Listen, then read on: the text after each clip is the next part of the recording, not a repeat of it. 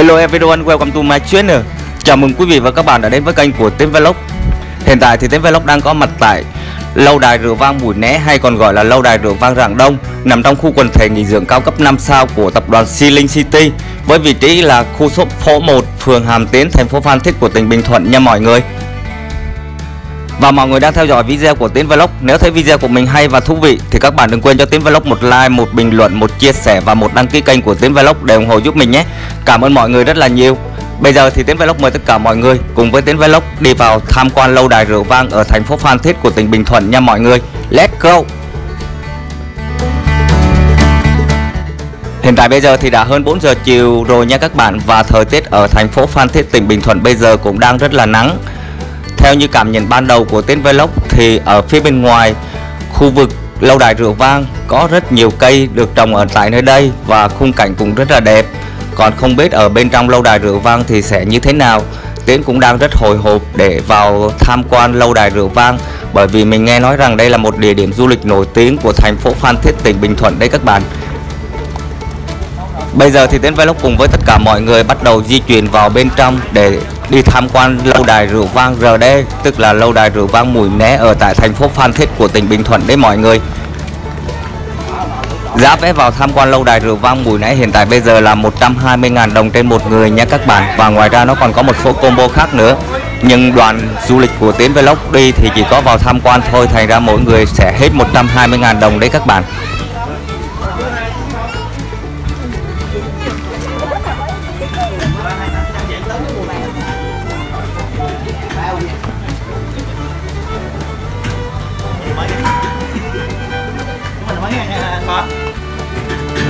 RD Win cái lỗ mà biết ra không à lúc mà mình những còn ở trong ở trong cũ là được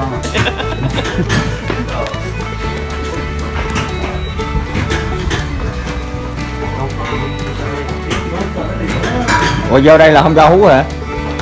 Hết cho đó hả? Hút em giờ phòng lạnh nó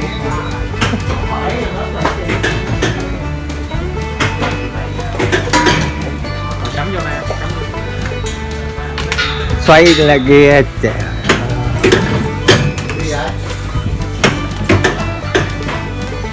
Tiến Vlog đã làm thủ tục đi vào cổng xong rồi các bạn ạ Và bây giờ Tiến Vlog cùng với mọi người bắt đầu đi vào tham quan lâu đài rượu va Mùi Né Ở thành phố Phan Thiết, tỉnh Bình Thuận nha mọi người Theo như Tiến Vlog được biết thì lâu đài rượu vang Mùi Né tọa lạc trên diện tích 12.000 m2 Đây là một trong hai hầm rượu vang đầu tiên và lớn nhất tại Việt Nam Với một kho tàng hơn 200.000 chai rượu vang được sản xuất đóng chai và nhập trực tiếp từ nhà máy của tập đoàn Rạng Đông. Đơn vị chủ quản của lâu đài rượu vang Rạng Đông tại thung lũng Napa, California của Mỹ nha các bạn.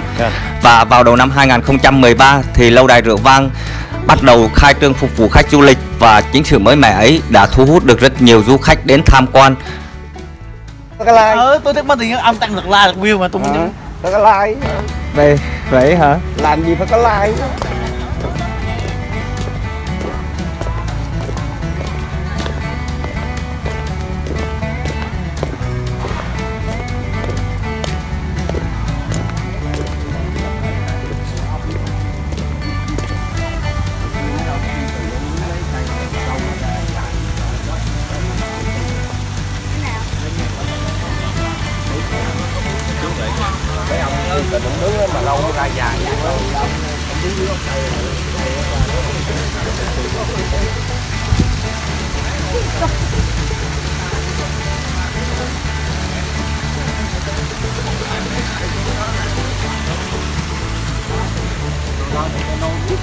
lưu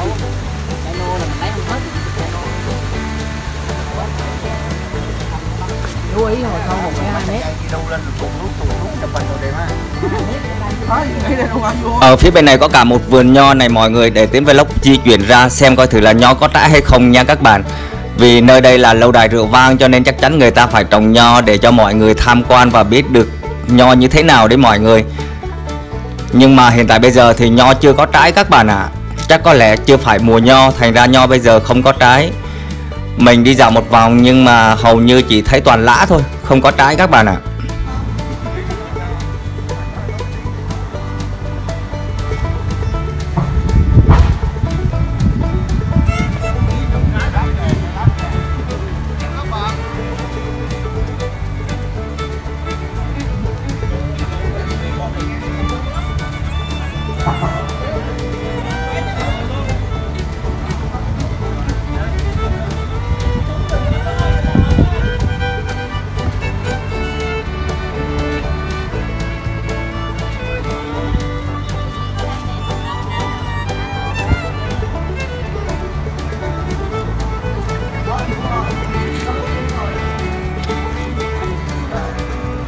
Đây chính là cổng chính để mình đi vào tham quan lâu đài rượu vang mùi né này mọi người.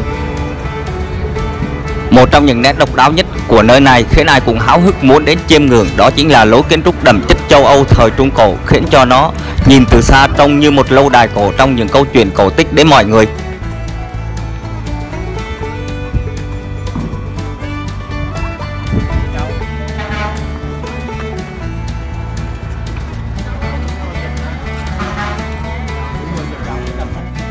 Khi đến gần các bạn sẽ bị choáng ngợp trước vẻ đẹp tráng lệ và kỳ vị của nó với điểm nhấn là những mái vòm cong cong xếp từng lên nhau khiến tòa nhà vừa mang vẻ đẹp sang trọng hiện đại lại vừa có nét cổ kính trầm mặc. Ở phía trước lâu đài rượu vang mùi né là một quảng trường rộng lớn, nơi mà các quý tộc thời xưa thường ngồi để thưởng thức rượu. Đứng ở tại nơi đây, bạn sẽ có cảm giác như được hóa thân thành những vị bá tước quyền quý hay những nàng công nương xinh đẹp trong một tòa cung điện nguy nga lộng lẫy. Lên xe ngựa kìa.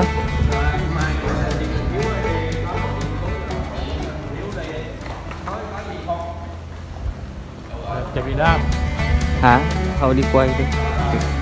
Không có có trò chụp nè, nhiều chỗ chụp hình nè. Sila City.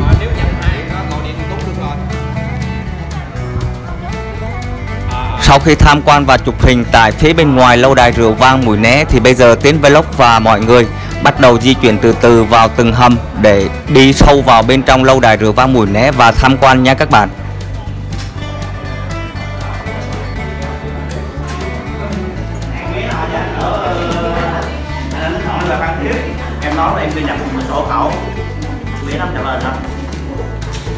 Đây là khu vực từng hầm của lâu đài rượu vang Mũi Né nha mọi người.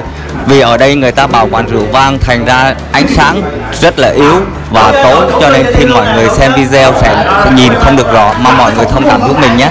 Tại vì nơi đây người ta không có bật đèn lên nhiều, thành ra ánh sáng sẽ bị tối hơn ở bên ngoài trời đấy các bạn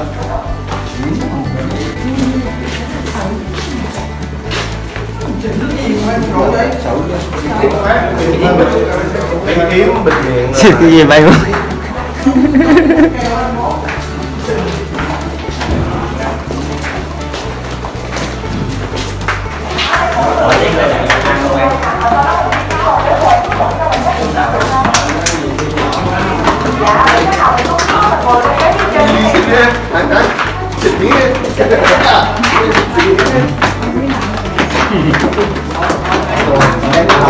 Yêu hàng mét rồi hả? Cái nào mình sao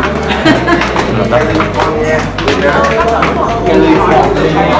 cái nắp rượu này Cảm ơn nha Dạ mình ngồi vào ghế giúp em anh chị Anh chị nào mình xuống trước á Mình ngồi lên những cái ghế phía trên giúp em hành để đủ chỗ cho để quỷ ở phía sau à Ôi dạ dạ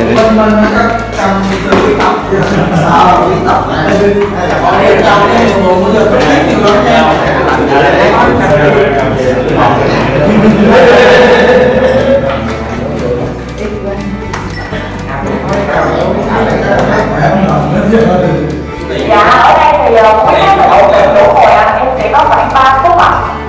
Dạ ở đây thì em sẽ hướng dẫn cho quý khách mình cách thưởng thức rượu vang đúng chỗ trước khi mình vào bên trong đường hầm ạ. Dạ hướng dẫn viên xin chào mừng quý khách đến với lâu đài vang rạng đông. Mến chúc quý khách có một chuyến tham quan thật vui vẻ và đầy thú vị.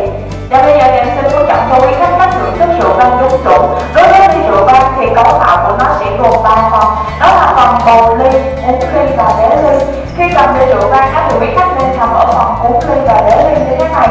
Mình hạn chế là không cầm ở phần bầu ly bên trên nè bởi vì khi cầm ở phần bầu ly thì hơi ấm ở trong lòng bàn tay sẽ áp sát vào ly rượu làm thay đổi lên nhiệt độ trong ly khiến cho rượu vang nóng lên thì ta khó cảm nhận được mùi hương đặc trưng của rượu vang là gì. Và và ly rượu vang quý khách đang thưởng thức là một loại vang đỏ có tên là Melo. Khi thưởng thức quý khách có thể ngửi được mùi hoa cỏ, có vị là cà phê và quả lý chua đen. Bằng cách là mình sẽ xoay nhẹ ly rượu như thế này à, để cảm nhận một số mùi hương đặc trưng như vậy. Dạ, và đối với rượu vang á, thì quý khách chỉ nên là nhấp một ngụm nhỏ rồi sau đó đảo đều quanh vòng miệng từ 1 tới 3 giây rồi hẳn nuốt xuống. Lúc đó ta sẽ cảm nhận được hương vị rượu hài hòa và đậm đà hơn. Dạ em xin mời quý khách mình cùng thưởng thức ạ. Dạ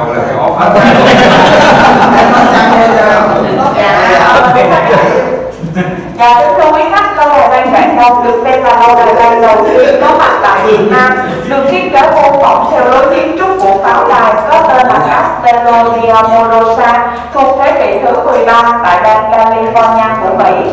đây đài vang được khởi công xây dựng tại khu nghỉ dưỡng năm sao Silicon City vào tháng 3 năm 2011 và cho đến tháng 2 năm 2013 thì chính thức mở cửa đón khách.